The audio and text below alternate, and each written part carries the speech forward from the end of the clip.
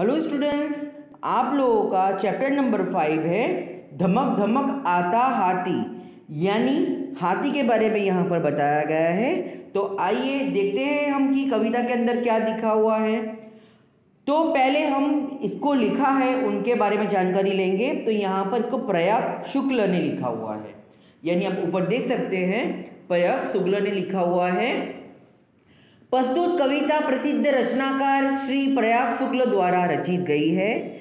उनका आपका जन्म इस सन 1940 में कोलकाता में हुआ था। साहित्य की विविध विधाओं पर शक्त रूप से लेखनी चलाई है। बच्चों के लिए अपने बहुत उल्लेखनीय रचनाएँ लिखी है। आप, आपके नौ काव्य संग्रह, पाँच लघु कथा संग्रह तीन उपन्यास, नौ कला पुस्तक सत्यजीत रे पर एक पुस्तक प्रकाशित है। इसके अतिरिक्त पत्रिका का संपादन भी किया है। तो आइए अब हम कविता के अंदर देखते हैं कि क्या लिखा हुआ है। धमक धमक आता हाथी, धमक धमक जाता हाथी, यानी जब हाथी आता है तो धमक धमक आवाज़ आती है। इसलिए यहाँ पर ये चीज़ बताई गई है, धमक धमक आता हाथी, धमक धमक जाता हाथी। अपनी सूढ़ उठा, उठाता हाथी, अपनी सूढ़ गिराता हाथी।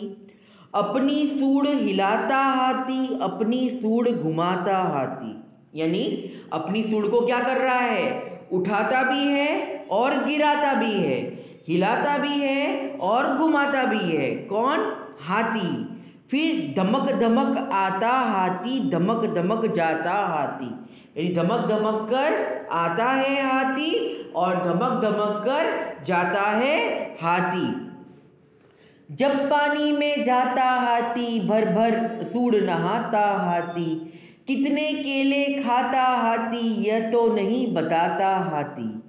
धमक धमक आता हाथी धमक धमक जाता हाथी यानी जब पानी में जाता है कौन? हाथी। तो अपने सूर से भर भर के पानी लेकर अपने ऊपर डालता है, नहाता है। और कितने खेले, केले खा जाता है, वो किसी को नहीं बताता है। कौन? हाथी। और धमक धमक जा आता है हाथी, धमक धमक जाता है हाथी, यानी हाथी जब चलता है, धमक धमक आवाज़ आती है, और जब जाता है, तभी धमक धमक आवाज़ आती है। तो आप लोगों को ये कविता समझ में आ गई होगी। तो घर में आपको इसे पढ़ना है और याद भी करना है। यानी इसको, आपको क्या है? रीड एंड लर्न दोनों करना है। ओके? फिर मैं मिलता हूँ मेरे नेक्स्ट वीडियो में नेक्स्ट चैप्टर के साथ। तब तक के लिए बाय